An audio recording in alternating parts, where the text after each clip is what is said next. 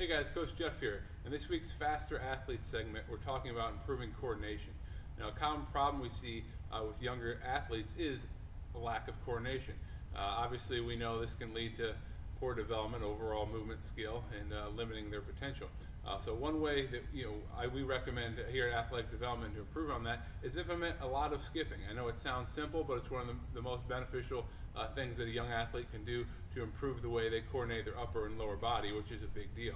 Uh, there's lots of variations for this. The key is to keep it simple and make it efficient. So skipping should not be hard. That's the key. So one of the cues uh, the coaching cues that we utilize with our athletes is we say rhythm and flow when we skip because it should be smooth and there should be rhythm to it. So if they're grinding through their skips, we tell them to relax a little bit. There's lots of variations. You can simply do in place ones where we're just coordinating the opposite arm and leg. We can do lateral variations where we're going right and then left. There's single leg variations, but the key is to keep it simple and, and, and give them reps and help them understand what the goal is. The goal is to make it efficient and to coordinate the upper body with the lower body. So best piece of advice to improve young athletes coordination is get them skipping every day.